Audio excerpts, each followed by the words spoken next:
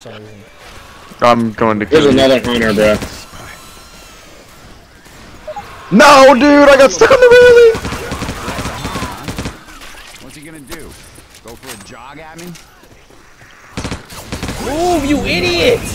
What are you I doing? literally saw you turn around to get You have me, to Nikki. shoot the fucking fire and the There's a pipe bomb down here.